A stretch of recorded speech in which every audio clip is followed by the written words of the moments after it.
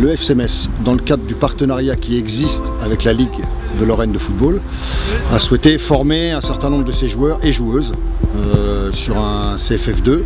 Donc ça concerne les joueurs euh, pour l'encadrement U13 et U15 et dans, les joueurs stagiaires, il y a euh, des joueurs qui évoluent en U19 et U20 et des joueuses qui évoluent en D2 féminin. Sur la formation, elle est articulée de, telle sorte qu'il puisse y avoir une alternance entre la théorie et la pratique. Donc la théorie, c'est la connaissance du jeu, des joueurs, euh, la connaissance euh, des exigences liées à la pratique dans la catégorie d'âge euh, de la formation et puis il y a des mises en situation pratiques sur le terrain, c'est-à-dire qu'on leur demande d'encadrer des équipes. Là, dans un premier temps, ils se sont, ils se sont cadrés entre eux et ensuite, on essaye aussi de leur trouver des, cobayes euh, qui correspondent à l'âge de la formation. Donc il y aura juste après les jeunes filles de la section féminine euh, Arsenal euh, qui, auront droit à des séances de leur part. Qu'est-ce que vous apprenez dans ce genre de formation? Bah, tout ce que doit faire un entraîneur au niveau, euh, euh, technique, c'est-à-dire tout ce qu'il doit faire sur le terrain, euh, les exercices et les procédés à, faire, tout ce qu'il doit faire progresser au niveau d'un joueur d'un certain âge et tout ce qu'il doit faire aussi en dehors d'un terrain, comment il doit parler à ses jeunes, comment il doit se tenir autour du terrain, etc. Puis sur les formations, c'est toujours intéressant parce que la première qu'on avait fait, on avait encadré des garçons.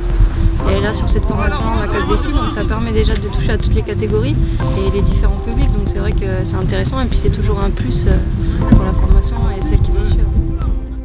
Il te reste combien de temps? Combien? Et de temps Au niveau du temps, il te reste combien de temps? Tu sais pas? T'as pas ta montre? Je pense que les, intérêts sont divergents entre les filles et les garçons. Pour les garçons, ce sont de, jeunes gens qui sont, liés contractuellement avec le FCMS et euh, dans, euh, dans, le cadre de leur contrat, euh, le FCMS doit leur apporter une formation, doit leur permettre de sortir de leur période de contrat avec un diplôme. Alors pour certains c'est un diplôme universitaire, pour d'autres euh, c'est un diplôme scolaire, ça peut être le bac, euh, mais il peut y avoir également des, formations sportives, des, diplômes euh, sportifs. Donc je pense que ça c'est lié à, ces exigences. Maintenant les jeunes filles, je pense qu'on est déjà, on commence à réfléchir sur une logique d'insertion. Certaines parmi elles encadrent déjà des jeunes filles, voire des garçons. Donc il y a un réel intérêt pour elles on a, déjà, on a déjà fait le premier CFF, je t'en fait un aussi.